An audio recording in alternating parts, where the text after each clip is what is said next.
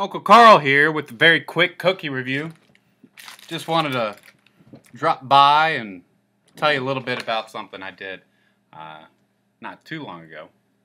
So I went to Walgreens. Um, you know, the, went to the druggist and uh, had to pick up some bare necessities, if you will, up the street. I noticed they had some cookies. They were a dollar. Dollar for 10 cookies. That's a really pretty solid deal. Can't com can't complain about that. Um, you know, I pick these things up here and there. You know, maybe I'll have a cookie for breakfast or treat after my meals. Um, now, I did try one already, and um, I want to tell you what I think about these.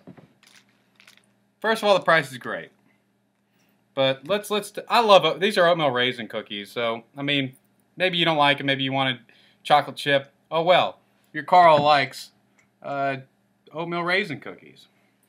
First things first, the size. They are wafer thin. I mean, these things are absolutely some of the thinnest cookies I've ever seen in my whole life.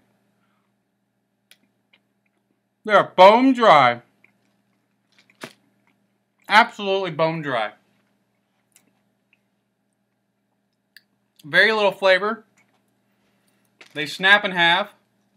You know, it, it, an oatmeal raisin cookie, in my humble opinion, should be a little bit chewier. You know, not not crisp. So dry.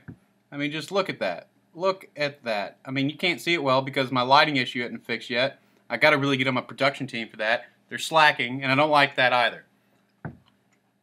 This cookie is bad. Not a good cookie. It's not filling. Not a lot of flavor. Super dry. But it only costs a dollar for ten. Is it worth that dollar? Kind of. In all honesty, a dollar is this is cheaper than a uh, Coke Zero that you know at a at a gas station, and um, so it's kind of worth it. It's only a dollar, but I'm disappointed. So these generic brand cookies doesn't even have a brand name. It just has a sun and a smile on the face on the ugh, bag from Walgreens are not worth it. It doesn't doesn't do your car well. So in this quick cookie review, we're going to give this cookie a solid 3.38. And that's only because of the price.